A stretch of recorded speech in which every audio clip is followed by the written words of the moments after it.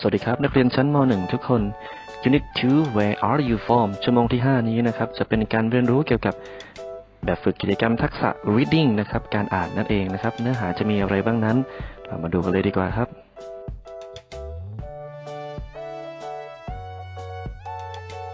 จุดประสงค์การเรียนรู้ นักเรียนสามารถตอบคำถามจากการอ่านข้อความป้ายโฆษณา ของโรงเรียนในลอนดอน ประเทศอังกฤษ และอีเมลได้นะครับ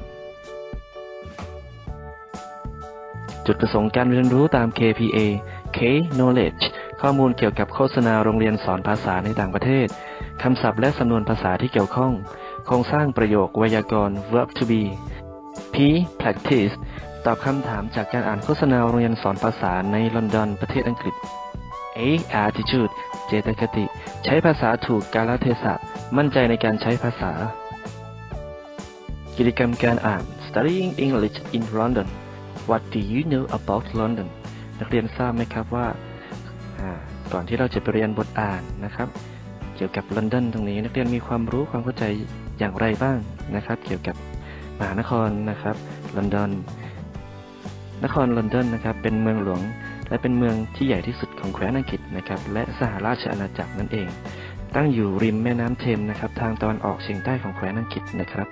นอกจากนี้ลอนดอนนะครับเป็นเมืองที่ใหญ่ที่สุดนะ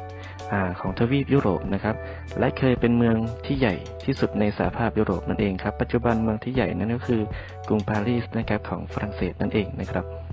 นะครับ นอกจากนี้เมืองลอนดอนนะครับ เป็นเมืองที่มีศูนย์กลางทางธุรกิจที่ใหญ่ที่สุดในโลกนะครับลอนดอนนะครับเป็นหนึ่งในศูนย์กลางสำคัญทางธุรกิจนะครับ อย่างเช่นการเมืองวัฒนธรรมและประวัติศาสตร์ของโลกนะครับ เป็นผู้นำด้านการเงินนะครับ การเมืองการสื่อสาร การบันเทิง แฟชั่น และศิลปะ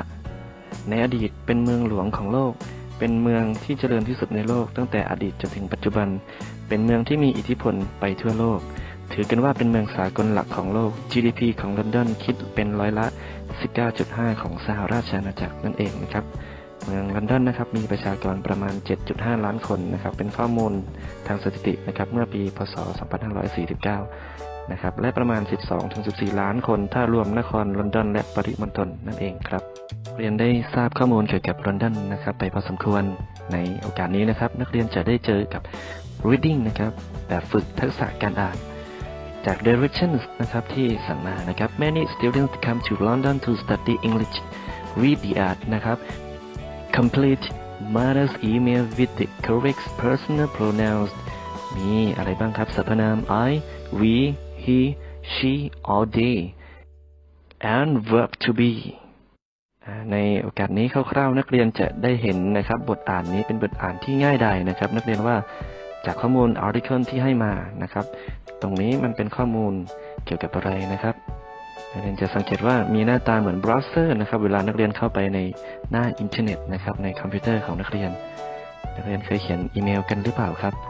นี่เป็นการเขียนอีเมลจดหมายอิเล็กทรอนิกส์นะครับง่ายๆ จากใครถึงใครยังไม่ทราบให้นักเรียนคาดเดาดูก่อนนะครับ กิจกรรมเสริมสร้างความรู้ด้านคำศัพท์นะครับ vocabulary นะครับ ในชั่วโมงที่ 5 นี้ครูขอนำเสนอคำศัพท์เพียง 2คำนะครับคำที่1 ad ตัวนี้นะครับ add เป็นคำนามย่อมาจากอะไรครับนักเรียนคำอธิบายคำศัพท์ภาษาอังกฤษนะครับ an advertisement แปลว่าการโฆษณานั่นเองครับ ในคำศัพท์ที่2นะครับ location นะครับ l o c a t i o n เป็นคำนามนะครับคำอธิบายคำศัพท์ภาษาอังกฤษนะครับ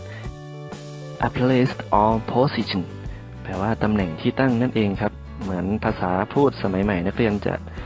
วลาคุยแชทกับเพื่อนนะครับ นักเรียนอยากจะนัดพบเจอกันนักเรียนบอกส่งโลมาส่งโลมารู้ตัวไหมครับว่าตัวเองกำลังพูดคำย่อของภาษาอังกฤษนะครับคำว่าโลมานั่นเองโลตัวนั้นมาจากคำว่า location ตัวนี้นั่นเองนะครับ ก่อนที่นักเรียนจะไปพบกับบทอ่าน reading นะครับ studying English in London นะครับให้นักเรียนใช้คำถามเหล่านี้เป็นจุดประสงค์ในการอ่าน คืออ่านเพื่อตอบคำถามในกิจกรรม about the reading นะครับ จะมีข้อมูลมา 3 ตารางนะครับ ใน direction นะครับ ได้สั่งไว้ว่า complete the information about the email ให้นักเรียนนำข้อมูลที่ได้รับจากการอ่านอีเมลนะครับลงมาเติมในตารางตรงนี้นะครับ ในหนังสือหน้าหน้า 13 นั่นเองนะครับ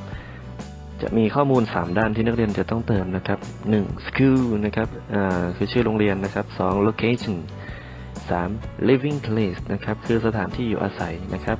มีชื่อโรงเรียนตำแหน่งที่ตั้งที่เขาอยู่นะครับ แล้วก็สถานที่อยู่อาศัยเพียงแค่นี้นะครับ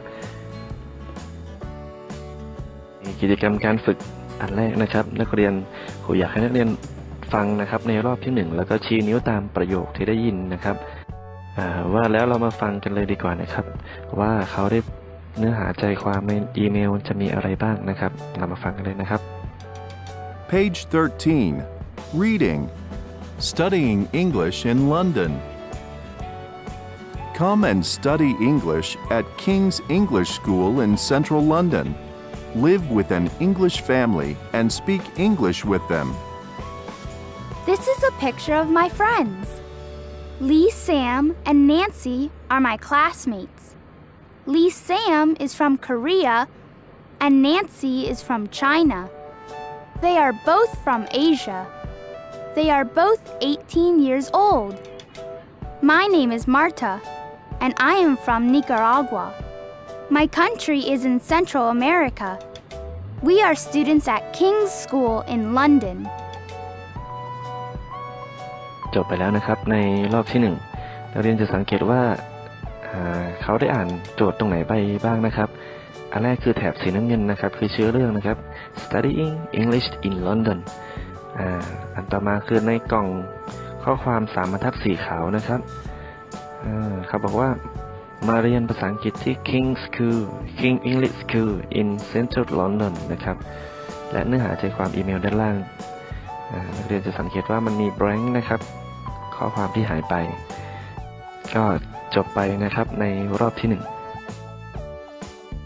การฟังบทอ่านในรอบที่สองนะครับครูอยากให้นักเรียนฟังและอ่านตามในใจนะครับนักเรียนต้องกวาดสายตาดูให้ทันนะครับ เขาจะเริ่มอ่านตั้งแต่ในกล่องข้อความสีน้ำเงิน มากล่องข้อความสีขาวที่เป็นสามบรรทัด และจึง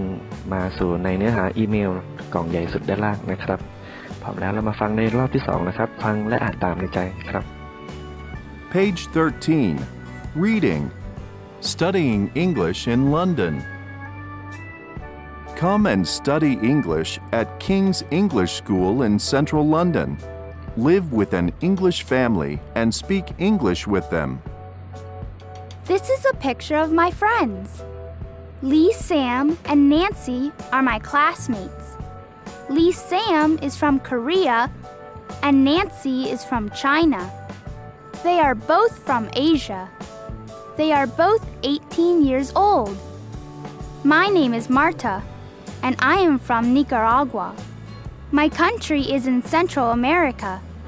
We are students at King's School in London.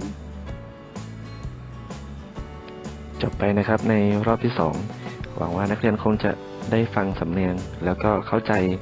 ประโยคแกมมาไวยากรณ์ สิ่งที่หายไปมีอะไรหายไปบ้าง ในระดับเบื้องต้นนะครับ ในการฟังบทอ่านรอบที่ 3 ตรงนี้นะครับ ครูจะให้นักเรียนฟังและก็อ่านออกเสียงตามออกมาเลยนะครับ นักเรียนไม่ต้องกลัวนะครับ นักเรียนอยู่บ้าน ยังสามารถฟังและอ่านออกเสียงให้เต็มที่เลยนะครับ ให้คุณพ่อคุณแม่ได้ยินด้วยนะครับว่าแล้วเรามาฟังกันเลยนะครับในรอบที่ 3 ครับ Page 13. Reading. Studying English in London. Come and study English at King's English School in central London. Live with an English family and speak English with them. This is a picture of my friends. Lee Sam and Nancy are my classmates. Lee Sam is from Korea and Nancy is from China. They are both from Asia. They are both 18 years old. My name is Marta, and I am from Nicaragua. My country is in Central America. We are students at King's School in London. จบไปนะครับในรอบที่ 3 ในรอบที่ 3 ครูคาดหวังว่านักเรียนฟังและอ่านออกเสียงตาม สามารถกวาดสายตาตามทันทุกตัวอักษรทุกข้อความทุกบรรทัดนะครับ หากนักเรียนยังไม่สามารถกวาดสายตาตามแล้วก็ฟังและอ่านออกเสียงตามนะครับ ให้นักเรียน ย้อนกลับไปดูนะครับรีเพย์กลับไปดูวนซ้ำหลายรอบนะครับ ทีนี้นะครับเรามาดูกิจกรรม about the reading นะครับ complete the information about the email จากข้อความ3อันนะครับ นักเรียนหวังว่านักเรียนคงจะตอบได้นะครับ school นักเรียนว่าบทอ่านไปเมื่อสักครู่เขาอยู่โรงเรียนมีโรงเรียนชื่อว่าอะไรครับ โรงเรียนนั้นก็คือโรงเรียน King School นั่นเองนะครับ นักเรียนไม่ต้องไปแปลนะครับว่าโรงเรียนของกษัตริย์นะครับ เพราะว่า King เป็นตัว K ตัวใหญ่นะครับใน location นะครับสถานที่ตั้งของโรงเรียนนี้ ในข้อที่ 2คำตอบคืออะไรครับคำตอบคือ in central London นะครับโรงเรียนนี้นะครับตั้งอยู่ที่ central London นะครับ ในอันที่ 3 นะครับ living place สถานที่อยู่อาศัยตอนนี้ เขาอยู่อาศัยกับใครครับ เป็นสถานที่ของใครคำตอบคือ live with an English family นั่นเองนะครับให้นักเรียนทำการเขียนเฉลยลงไปในหนังสือหน้า 13 ด้วยนะครับ ในโอกาสนี้เราได้มาทำในส่วนของ blank ข้อความที่หายไปของอีเมลนะครับ ข้อความที่หายไปของอีเมลมีอะไรบ้างนะครับนักเรียน จะมี I we he she หรือ they ที่โจทย์กำหนดมาให้นะครับ ที่เราจะเติมลงไป และบางทีก็อาจจะเป็น verb to be ได้นะครับ ถ้าดูจากคำสั่งที่ให้มา เรามาดูกันเลยนะครับ This is the picture of my friend Lee Sam and Nancy ประธานสองคนระหว่าง Lee Sam เป็น he และ Nancy เป็น she รวมกันกลายเป็น they นะครับ ดังนั้นอันที่หนึ่งตอบ a r e r นะครับ Lee Sam and Nancy are my classmates นะครับ Lee Sam และ Nancy เนี่ยเป็นเพื่อนร่วมชั้นเรียนนะครับของฉัน Lee Sam ขึ้นประโยคใหม่นะครับ มีประธานเพียงคนเดียว ดังนั้นมีค่าเท่ากับ he Lee Sam มีค่าเท่ากับ he ดังนั้น Lee Sam is from Korea อ่าและขึ้นต้นขึ้นประโยคใหม่ครับ and Nancy Nancy is from China Nancy มาจาก China ครับ ทั้งสองคนรวมกันกลายเป็นสรรพนาม they they are both from Asia นะครับ เขาพวกเขาทั้งคู่นะครับ ต่างก็มาจากเอเชียกันนะครับ ประโยคต่อมาตัวที่หายไปคือตัวขึ้นต้นประโยคดังนั้น น่าจะเป็นสรรพนามอะไรครับ มีคำต่อมาคือเป็น verb to be สรรพนามต้องเป็นพหูพจน์ดังนั้นตรงนี้ตอบ T H E Y they are both 18 years old พวกเขาทั้งคู่นะครับ อายุ 18 ปีกันทั้งคู่นะครับ ต่อมาจากคนเล่าเรื่องครับ เขาได้พูดถึงตัวเองแล้วบ้างนะครับ My name is Mada ฉันชื่อ Mada นะครับ and I am from Nicaragua นะครับ มาจากประเทศนิการากัวนะครับ My country is in Central America ประเทศของฉันอยู่ในอเมริกากลางนั่นเองครับ ประโยคสุดท้ายขึ้นต้นประโยคหายไป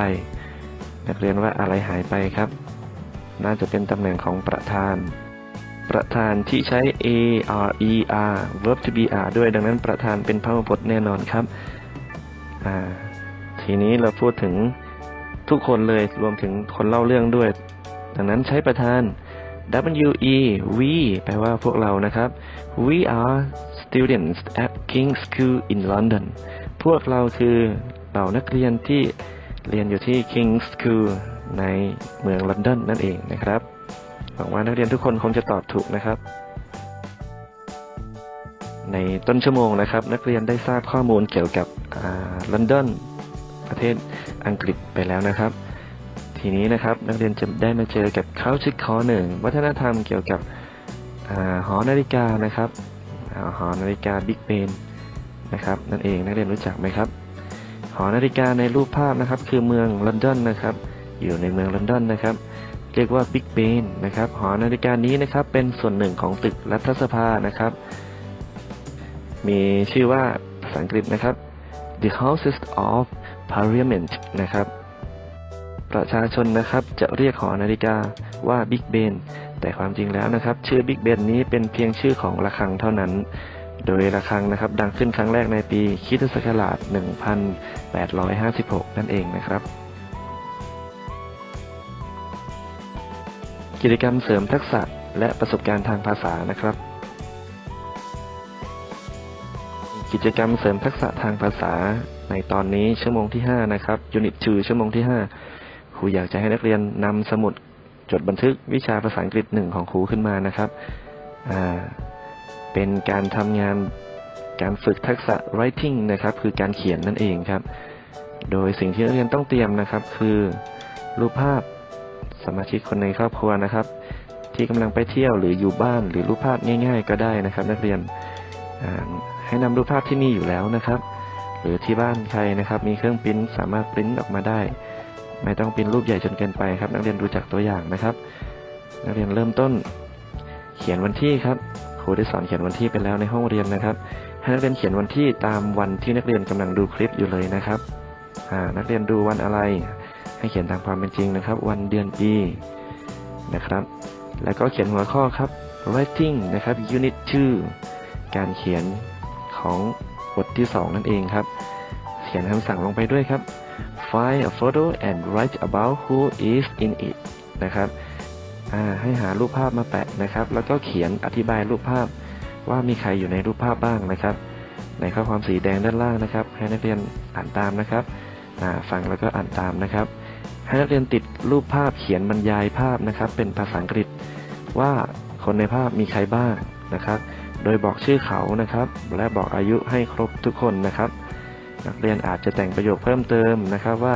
พ่อกำลังทำอะไร พ่อใส่เสื้อสีอะไรอยู่ ก็อาจจะเป็นได้ถ้านักเรียนมีความสามารถนะครับ แต่ตอนนี้ครูคาดหวังให้นักเรียนบอก คนนี้คือพ่อของฉันนะครับ พ่อของฉันชื่อเราเรียนไปแล้วประมาณนั้นนะครับหรือนักเรียนคิดไม่ออกเริ่มต้นไม่ถูก ให้นักเรียนใช้รูปแบบนะครับจากบทอ่านที่ได้เรียนในบทนี้ไปนะครับ ก็คือ studying English in London นั่นเองครับ เป็นการอธิบาย อยากจะเล่าเรื่องอะไรก็ได้นะครับ ลักษณะคล้ายๆเหมือนเขียนอีเมล บรรยายรูปภาพก็ได้นะครับ เสร็จแล้วนักเรียนทำเสร็จในสมุดนะครับ ในชั่วโมงต่อมาที่กลับมาเจอครูเจษดานะครับให้นักเรียนนำสมุดมาส่งด้วย ถือเป็นคะแนนจิตพิสัย คะแนนความตั้งใจ ตรงนี้ครูเช็คและให้คะแนนเพิ่มเติมนะครับ ขอให้ทุกคนตั้งใจทำอย่างมีความสุขนะครับ ในชั่วโมงที่ 5 นะครับ เราจะจบไปเพียงเท่านี้นะครับ แล้วเจอกันใหม่ในชั่วโมงที่ 6 ครับ สวัสดีครับ see you bye bye